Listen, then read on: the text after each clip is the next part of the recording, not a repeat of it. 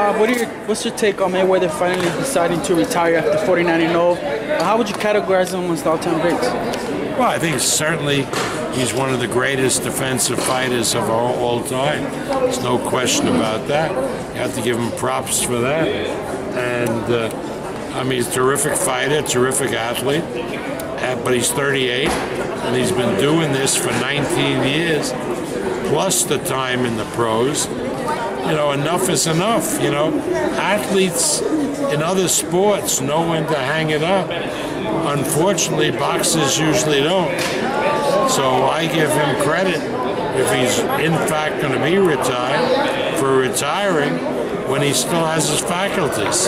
Um, with Mayweather's retirement now official, what's, uh, who do you think can take over the pay-per-view slot? That we don't know. We just don't know. Maybe Canelo. We'll see. I mean, we don't know.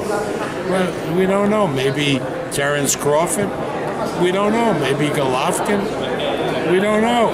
You know, essentially, because the Hispanics buy the pay-per-view in disproportion to everybody else, you would think it would be a Hispanic. But Mayweather was not a Hispanic, obviously, so we don't know. Bob, do you think he will stay retired? I, he doesn't know. How would I know? Is Lomachenko the new pound for pound now with Mayweather gone? Uh, do you think he can I take? think he's, in my view, Lomachenko is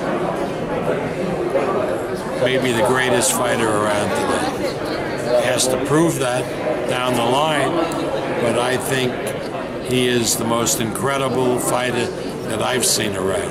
Mayweather stated that when he retires, Manny Pacquiao will be the next best fighter in the world. Well, I, I commend Floyd for saying that. We'll see.